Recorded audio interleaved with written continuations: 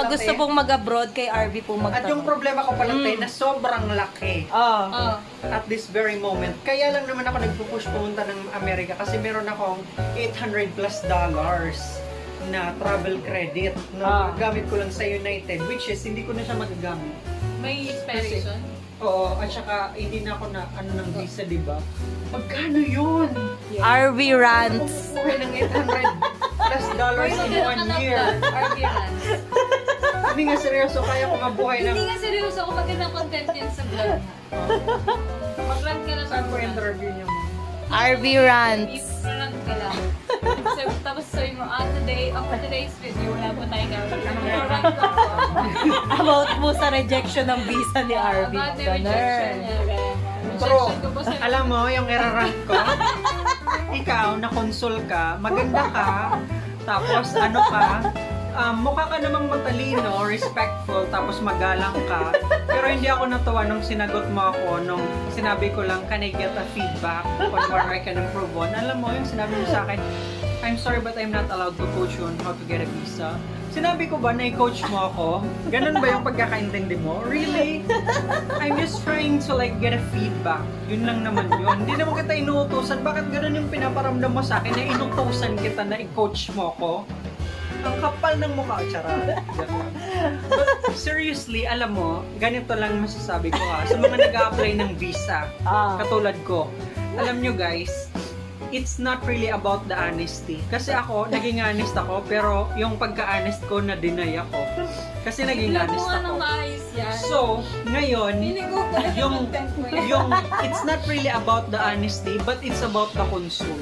Kung paano sila mag-isip, kung paano sila magtanong, especially kung paano yung understanding nila of how you are as a person, ganun ka nila ginajudge. Kasi, na-judge na ako i-deny kasi hindi niya naman alam yung totoo sa akin, hindi niya alam lahat sa akin. And yet, in my heart, I promise, yung sa France, nagbalak talaga ako mag-PNT. Pero itong sa US, no, at all, not ever. Kasi alam ko, pag ako mag-PNT dun sa New York, magiging taong grasa lang ako. So, dito, komportable yung buhay ko. So, bakit ako magtataong grasa? Bakit ako mag-stay doon na malamig tapos wala akong matutuluyan, wala akong kakilala, wala akong kamag-anak? Ano, sa train ako? Sa train ako? Sa train ako titira? Really?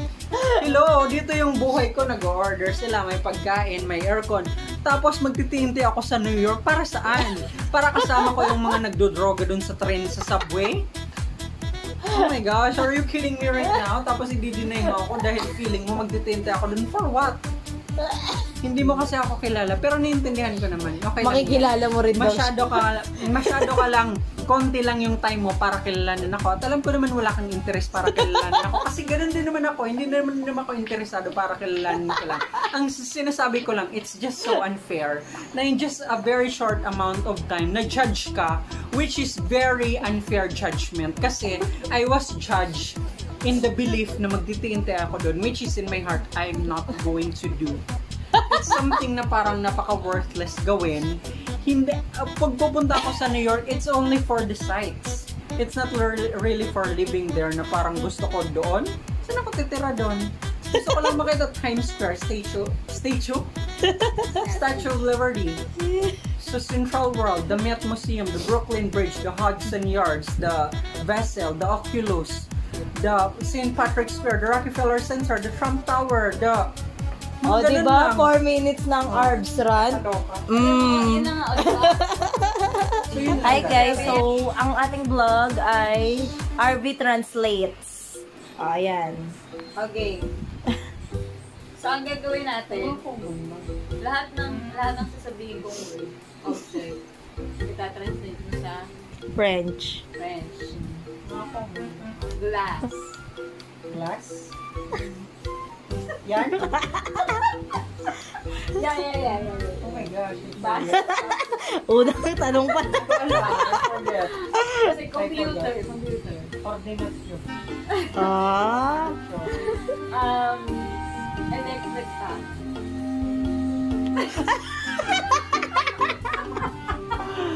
Huwag naman yung mga gamit sa bahay. Iba na lang. object. Kahit hindi object, kahit... Kasi, ah, good evening. Bonsoir. Good morning. Bonjour. How are you? Ça va? Saging na saba. Ça va? Um, Hindi pwedeng allez-vous? Comment ça va? O ça va? okay. okay. Saba. Saging na saba. Um, what's your name? Comment tu t'appelles? My Ah. name is Arby. Je m'appelle et Arby. I live in the Philippines.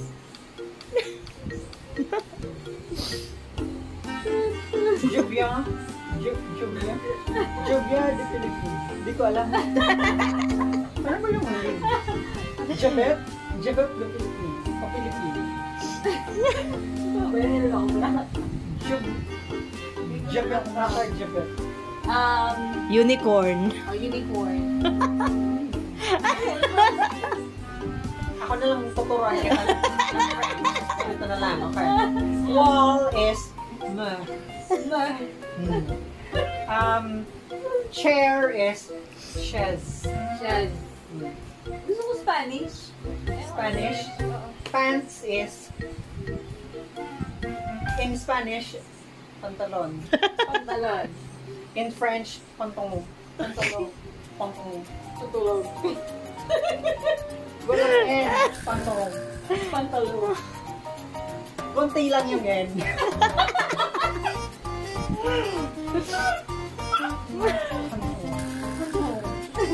ah, yung soap o sabon in French, sabon. Sabon. Sabon. Sabong. Yung sabon, ano? Sabong. Sabon. Sabong. Yung ilaw, lumiere. Lanier. Yung, ano pa ba? Apron. Apron. Apron siya. Yung, lu- yung garlic, Garlic. ay. Ay. Yung onion, Onion. onion. yung, Yung apple, Magbabantay sa Apple. Apple. plum. Orange, Orange. orange. Orange. Medyo mahirap ah. Orange. Ah. Pa, alam ko naman siya lagi may plema. Yung banana, banana, Ah, banana. banana. Banana. Strawberry, Strawberry. fresh. Red. Fresh strawberry. Um, tinapay, Bread. Tinapay, Tinapay. pa, Pop. chocolate, Chocolate. chocolate, Chocolate. chocolate, Chocolate. water, Water. oh, some water, Some water. glue. Glue. Um, ano pa ba? Amen. Beach, Beach. plage. Plage. Sea, dagat, Dagat. mer. Map. So, the word mermaid comes from mer, Map. dagat. Um, Ayun maid. maid, you.